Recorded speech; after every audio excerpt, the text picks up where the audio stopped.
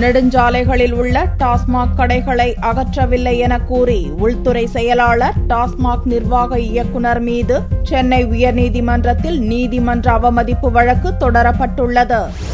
தேசிய நெடுஞ்சாலைகள் மற்றும் மாநில நெடுஞ்சாலைகளில் உள்ள டாஸ்மாக் மது கடைகளை மார்ச் முப்பத்தொன்றாம் தேதிக்குள் அகற்ற வேண்டும் என தமிழக அரசுக்கு சென்னை உயர்நீதிமன்றம் உத்தரவிட்டிருந்தது. ஆனால் நீதிமன்றத்தின் உத்தரவுப்படி தேசிய மற்றும் மாநில நெடுஞ்சாலைகளில் பெரும்பாலான டாஸ்மாக் மதுபான கடைகள் இதுவரை அகற்றப்படவில்லை என்று கூறி தமிழக சமூக நீதி பேரவைக்கான வக்கீல் பாலு என்பவர் தமிழக உள்துறை செயலாளர் மற்றும் டாஸ்மாக் நிர்வாக இயக்குநர் மீது நீதிமன்ற அவமதிப்பு வழக்கு தொடர்ந்துள்ளார். இந்த மனுவை சென்னை உயர்நீதிமன்றம் நீதிமன்றம் விசாரணைக்கு ஏற்றுக் கொண்டுள்ளது இவ்வழக்கு மீதான விசாரணை ஏப்ரல் இருபத்தொன்பதாம் தேதிக்கு ஒத்திவைக்கப்பட்டுள்ளது. இதற்கிடையே இது தொடர்பாக உச்சநீதிமன்றத்தில் தமிழக அரசு தரப்பில் தாக்கல் செய்யப்பட்டுள்ள அப்பீல் வழக்கில் நெடுஞ்சாலைகளில் உள்ள டாஸ்மாக் கடைகளை அகற்ற கூடுதல் அவகாசம் கோரி மனு தாக்கல் செய்யப்பட்டுள்ளது. இம்மனு நீதிபதிகள் ஆர் என் லோத்தா குரியன் ஜோசப் ஆகியோர் கொண்ட அமர்வு முன் விசாரணைக்கு வந்தது.